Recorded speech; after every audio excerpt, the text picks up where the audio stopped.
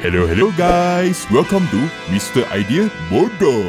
Untuk video kali ini adalah tentang lain macam aku tengok YB Cina Bukit Mertajam ini. Dia kata dia tak datang masjid untuk solat. Tapi dia keluar duit RM58,000 tunai tolong buat jalan masjid. Apakan sijil sebelih masjid buat semula bangunan papang kayu yang sudah uzur dan pasang ekon dekat tempat solat. Bye. Ini masih okey lagi. Yang aku terkejutnya adalah dia ada mak angkat yang berbangsa Melayu dan 100 lebih anak angkat yang berbilang kau bye. Kebanyakan anak angkat dia adalah berbangsa Melayu mah. Masa hari raya hari itu, dia siap turun kampung jumpa semua anak angkat dia. Makan ramai-ramai dan tiap bulan siap bagi duit belanja RM100 tunai untuk anak angkat di peringkat sekolah dan RM200 tunai untuk anak angkat di peringkat universiti. Segala kos belajar dia tolong mah. Ini betul-betul namanya Cina, muka Cina tapi jiwanya satu Malaysia mah. Jom kita saksikan video ni.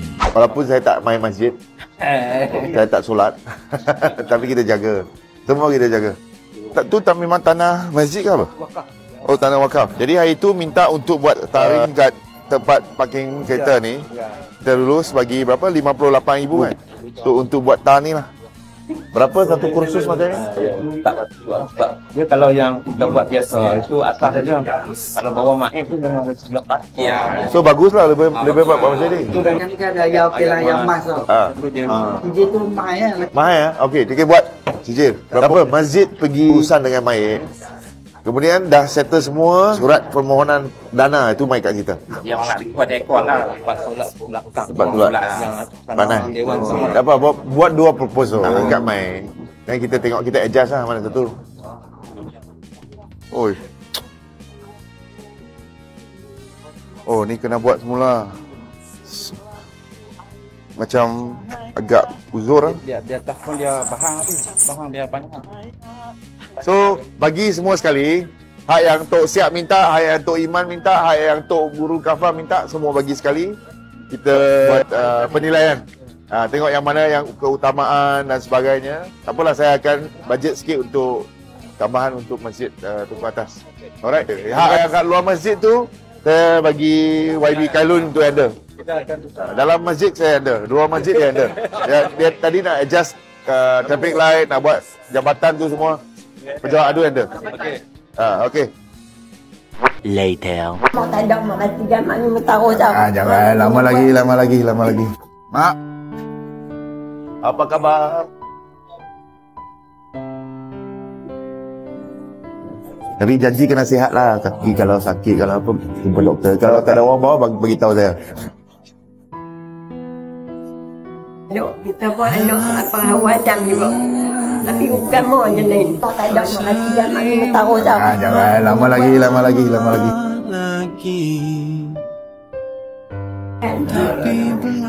Mak akan ada sampai Berapa? Umur 100 tahun?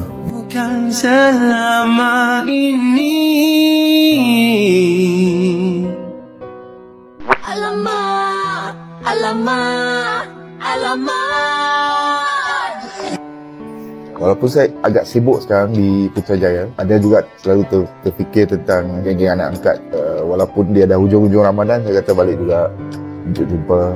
Susah macam mana sekalipun, kita habiskan pendidikan universiti kita. Yang penting, saya selalu tekankan, uh, benda lain jangan fikir. Fokus tadi, balik kampung. Saya coba balik kampung. Ke kampung kat sini. Kampung mana? Kedah ni, kampung. Selama, baik Perak. Duit bulanan tetap ada. Ini duit raya. Okey. Selamat raya. Selamat raya. Okey. Selamat raya. Selamat raya. Selamat raya. Selamat raya. Banyak kan sikit? Cukup untuk satu keluarga ni angkat ni. Memang Steven Sim ni ada ramai anak angkat berbilang kaum dan dia memang jaga setiap anak angkat dia ni macam seorang bapa jaga anaknya. Fokus utama pada anak-anak angkat dia ni ialah pendidikan. Dia akan pastikan anak-anak angkat dia ni tak ada masalah dari segi pendidikan.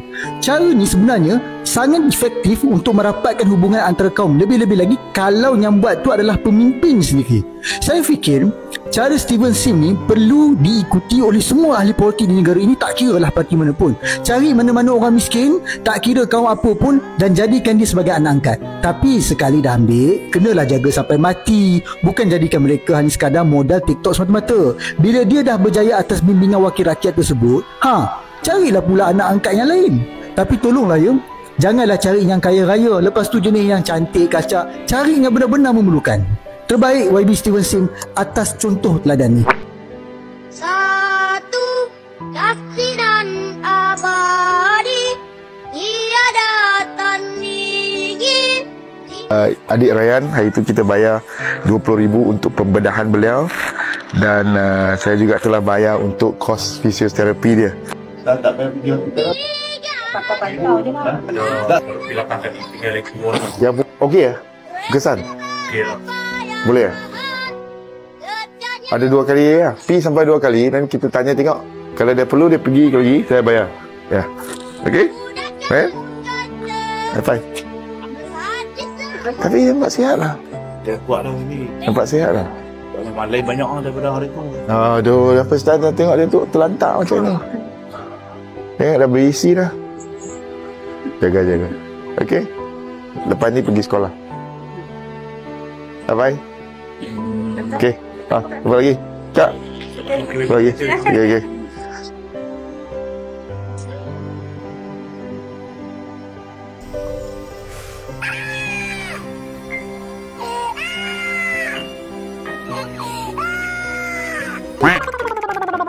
Okey, itu sahaja untuk hari ini. Jangan lupa like, comment and subscribe untuk saya punya channel. Jumpa lagi di video seterusnya. Idea bodoh.